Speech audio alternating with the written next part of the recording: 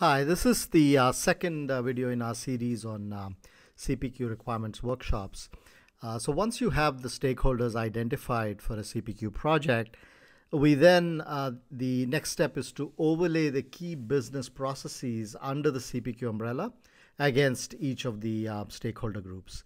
Uh, so here's an example um, for illustrating this. This is coming from one of our CPQ projects with a SaaS firm the product engineering and the product marketing teams uh, are the ones that come up with various uh, product offers uh, on deciding on the uh, base features, the optional features going into each edition of their product, uh, configuring the uh, various promotional bundles, and so on.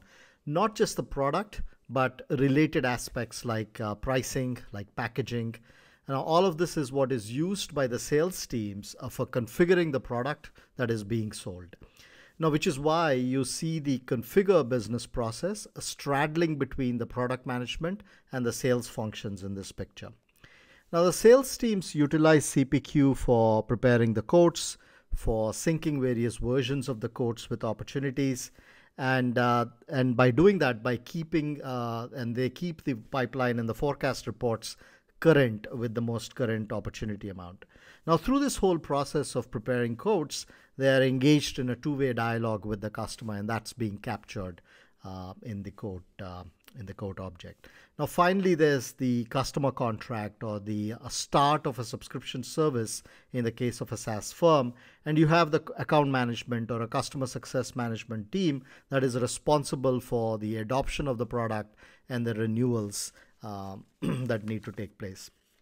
So other capabilities that such account management teams would uh, look for from the CPQ system is that is the amendments amendments to contracts that is when a customer wants to add a new product or change product uh, uh, from the ones that were quoted or sold we are now talking here about the various workflows to handle amendments. So this, this includes things like upgrades, add-ons, or could be even downgrades uh, that may need to be handled as part of amendments to contracts.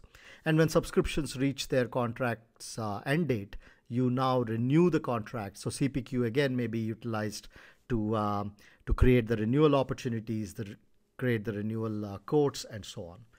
So uh, that's it for this video and uh, hope to see you in another Varasi video. Thank you.